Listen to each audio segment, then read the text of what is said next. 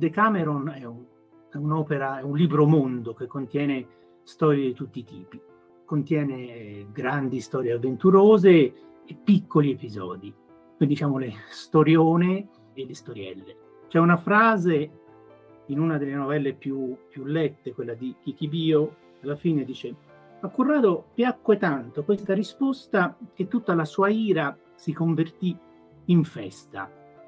E a me pi- piace molto questa, questa, frase, ma più che altro quello che rappresenta, cioè un, l'idea che appunto con una frase cambi la situazione. E la giornata sesta c- ci sono una serie di episodi che hanno questo in comune. Sono appunto piccoli episodi, non sono le grandi storie.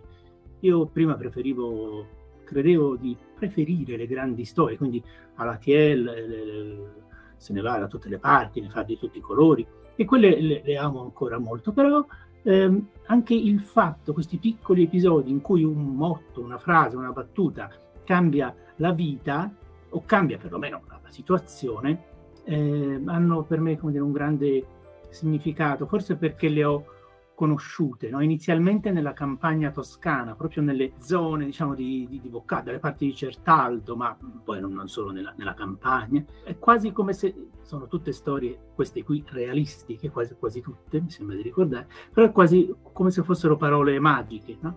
per cui appunto il personaggio, l'interlocutore arrabbiato, poi no, non lo è più. E mi ricordo, mi raccontarono sempre nella zona diciamo, di Certaldo, Certaldo e Gambassi, una signora aveva chiesto a un muratore di fare un forno per la pizza e questo forno è venuto giù dopo due mesi per un temporale così. E, e, la signora allora ha telefonato, ha telefonato, ha murato, cioè, questo forno è venuto giù e questo gli fa, le fa, ma signora, ma pensava che durasse in eterno. Chiaramente la frase è, è assurda, no? E non so, tra l'altro in quel caso non credo abbia funzionato. Però c'è, c'è quest'idea della, della, frase che cambia la situazione, eh, che dura fino a Amici miei. Io al, film, una serie di film no, di, di, Amici miei, una lunghissima tra, tradizione. Appunto, io la conosco in Toscana, immagino poi magari in certi contesti sia da tutte le parti, però per me ha un particolare significato perché io, io li ho visti, alcuni li, li vedo ancora di questi soggetti. Non sempre la cosa fu- ovviamente funziona nella realtà, nella vita reale, però certamente funziona, può funzionare anche a livello, diciamo, di interiore, eh, di, di, di, umore. Io avevo un amico eh, da ragazzo e qualsiasi cosa gli dicessi diceva e allora? Che non è che una battuta che fa ridere, però, dice, però ridimensionava la cosa, dice ma io ho, preso tre, greco, cioè allora, e, in effetti, e allora andiamo, no? E quindi ecco, io suggerirei nell'opera Mondo e Boccaccio, uno può um, trovare di tutto, ma anche semplicemente di andare a vedere la giornata sesta o comunque le novelle in cui con una frase, c'è come un salto, no? cioè, un salto, mi, mi, sembra ne parli anche Calvino nelle lezioni americane, eh, cita eh, proprio nella lezione sulla leggerezza, ci sono novelle di Boccaccio dove Cavalcanti che è insomma, un personaggio infortunato, comunque infastidito da altri, se ne va con, con un salto leggero. No? E questo da una parte. L'altra cosa eh, che, che, mi piace dire è che in molte novelle di Boccaccio sono scorrette, sono, ora le troveremo alcune anche volgari, infatti sono quelle che di solito non vengono messe nelle, nelle antologie, no? le antologie più o meno sono sempre le stesse. E invece c'è, c'è sempre un, un in, alti, in molte altre c'è questo guizzo di, di, di scorrettezza, di, eh, di, riverenza e anche quasi appunto per noi di, di, volgarità.